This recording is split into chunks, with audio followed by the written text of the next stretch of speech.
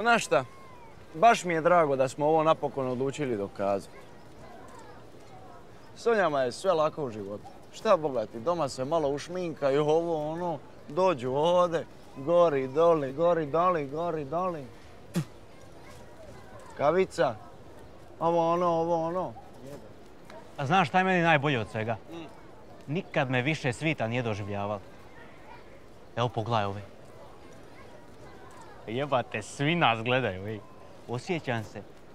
Mislim da se prvi put u svom životu osjećam vidljivo. Je, ja se baš nekako moćno osjećam. Pa je sad ovo.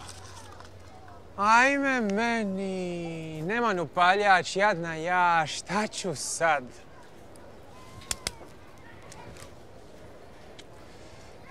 Vidiš, o tome ti ja pričam. Man. Napokon smo dokazali mojoj Tamari i svima kaže što je moja Tamara, da ovo nije nikakav težak život, da ovo nije ništa naporno. Pa će bogati, ja bi s oma s njima minjao. Oma.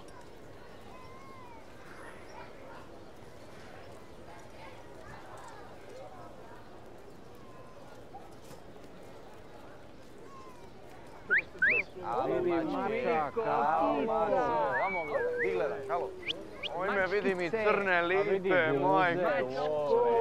Ova crna pariko da je otac jebana sjena. A dobro, šta koji kura, šta je? Jel oni to nama? Šta? Ajde, dođi vamo pičkati matre, ajde, dođi vamo. Pa stvarno, a nije lipo šušensko da beštima. Pa jesu oni meni prvi. Ne trebaš beštimat za to. Jebo, šta ovake bi ja na bove odmah. Cure, ajmo ča. Ajmo ča, cure. Ti mat. No, taj copyright, kuš, što će ti Mihajla sve objasniti. Nema uopće brinut ništa. Šokre. Marino.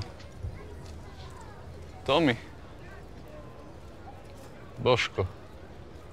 A?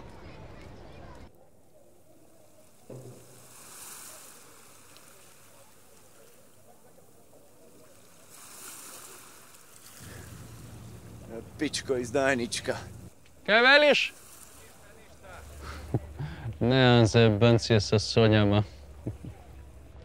Ko je na kraju kažnjen? Ko je bova, a? Žene, naravno.